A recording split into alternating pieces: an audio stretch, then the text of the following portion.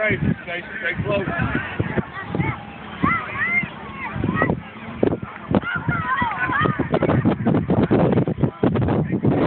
Good job, AJ.